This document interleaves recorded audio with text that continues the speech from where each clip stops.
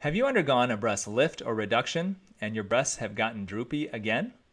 Well, with time, this can happen to anybody and pretty much everybody who has those surgeries. And the bigger your breasts are, the faster they are going to redroop.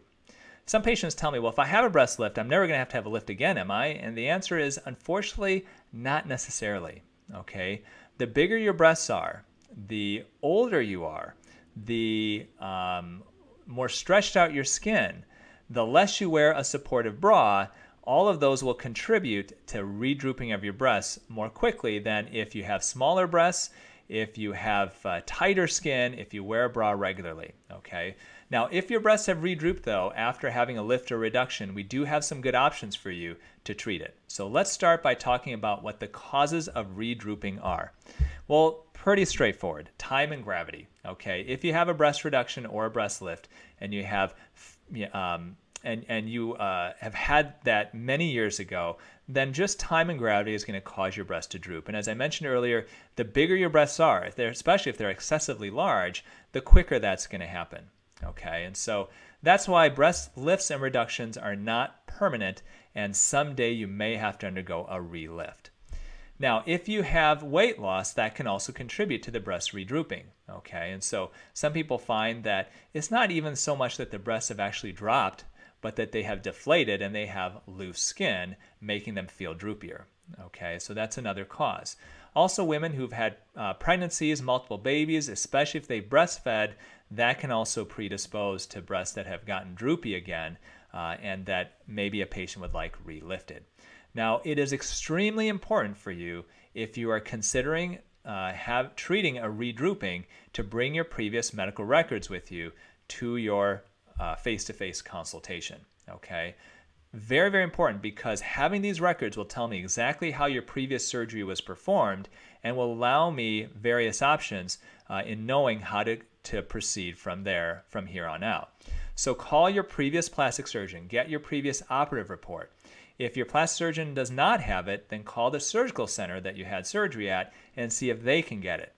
If you absolutely can't get any of those records, then we can still proceed with your surgery, um, but we are limited in what we we may be limited in what we can do, and I'll explain why.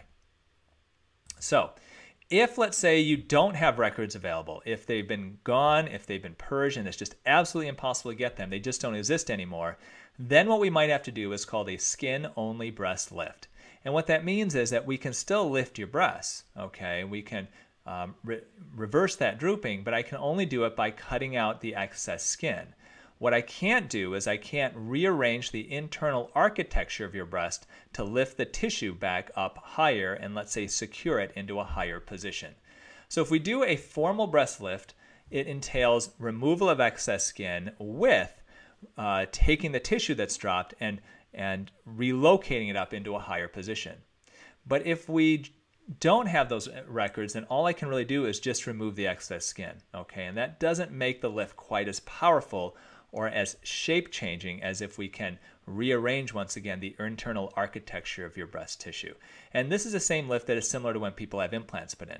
So if you have implants with a lift, usually we what we do is just remove the excess skin. We can't necessarily rearrange the internal tissue because too much has been cut for placement of that implant.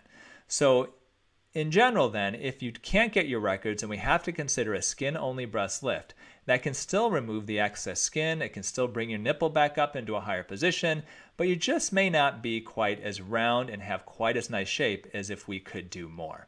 Uh, the surgery itself typically uh, is done under a general anesthetic, so you're completely asleep. Uh, the surgery itself basically is cutting out the excess skin and suturing things back together. Typically, you would have a a scar around circum, circular scar around your areola, then a vertical scar, and then a scar underneath your breast. The surgery takes about two and a half hours. Uh, and then after the surgery is over, uh, you have a bra on. They bring it into the recovery room where you stay there for about a half hour to an hour, and then you head home. Uh, there will be a little bit of discomfort with it, but it's usually not that bad. Most people take pain pills for maybe a day or two. Uh, most people are driving a car as early as three to four days after surgery. You come back to see us at a week. At a week, we change the little Steri-Strip, all the little tapes over your incisions, make sure everything looks good. Um, you can start exercising at three weeks, and it will take four to six months for all of your swelling to go away. and it can take a year or longer for all the scars to mature. Now, if you've had a lift eh, or a reduction before, obviously, that's why we were doing this, uh, then you know kind of how scars heal on your body, and that's going to be your best indication of how those scars are going to be. Now, the risks of the surgery, bleeding and, and infection are always the first things we mention. There's risks of thick scarring. Even if you didn't scar poorly with your first breast lift or reduction, you may scar poorly with this one. You just don't know. Um, so we always recommend scar creams even if you scarred well with the previous one. Uh, there are risks of some unevenness. You know, one breast may not look exactly the same as the other. There are risks that uh, your breast may redroop a bit afterwards. Uh, because I'm not doing a whole lot to the inside of your breast, I can't because we don't have those records. We don't want to make cuts that cause blood supply to the nipple to, to be um, to be disrupted, uh, it does uh, allow us limited ability to reshape your breasts. Um, there are other potential risks such as uh, blood clots, um, and we cover other risks as well in the time of your preoperative um, visit as well as your face-to-face consultation. So if we don't have the records, then a skin-only breast lift can be a definite option for you. It can really help. It can definitely help. I don't want to poo-poo this option, but it can definitely help to get rid of the excess skin and um, bring the nipple up into a higher position. But once again, it's a bit limited as to its uh, ability to reshape the breasts. If, however, you have your previous records available, then we could consider doing another formal breast lift uh, for you. And uh, this could potentially allow us to um, move some of the internal breast tissues around to give you a nicer shape. And I see that I have a bit of a typo there. Instead of performed if previous surgical records available, it says pervious. So um, it doesn't mean that, it means previous.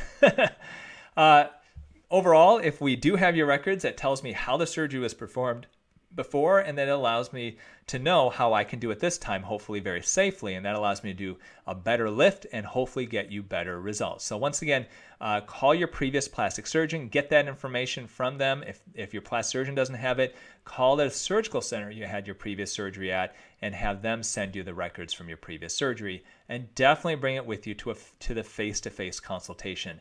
If you don't have it, then we're gonna have to have you come back uh, for a second visit, and that's just going to waste your time and my time coming back in when we could do it all at one time. Uh, so if you're considering another formal breast lift, uh, take a peek at the section entitled First Time Breast Surgery breasts are droopy. And I go over all the different breast lifts uh, in that um, section uh, in detail, including the recovery time and how the scars are. But typically, you'd look at a scar that would go all the way around the areola, down and underneath. The recovery sometimes is a little more difficult than a skin only breast lift. You may or may not have a pair of drains in.